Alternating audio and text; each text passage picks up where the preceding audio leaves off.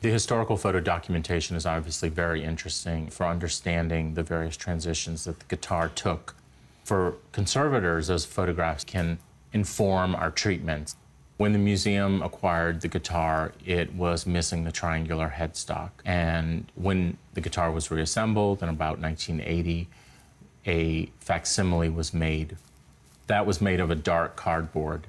And this is the one that was displayed with the guitar for its entire time that it's been at the museum. When you actually look at the historical photographs, the tonality of that triangular headpiece actually has much more in common with the face of the guitar, and it's, it's not dark.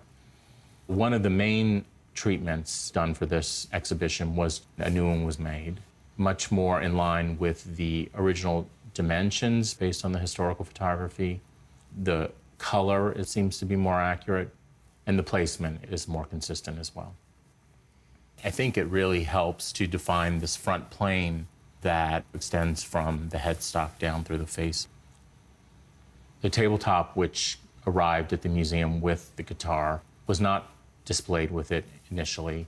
As you can see, it's a section that's cut directly from a prefabricated box. These are the staples that would have held the box together. And um, if you can imagine that that is the side of, say, the top of a box, this would have extended out further. This part that's lighter was protected from the light when the tabletop was installed.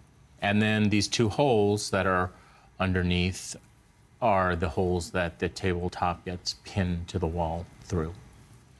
When the guitar was reassembled in 1980, it was not surface cleaned. Over the course of, at that point, its 70 year life, it had accumulated dust and accretions from being in Picasso's studio, but then also being stored in a box. The splotches and the accretions were really distracting to the visual understanding of the guitar. And so the decision was made to give the guitar a thorough surface cleaning. Surface cleaning paper involves using various techniques, ranging from erasers to soft brushes other tools.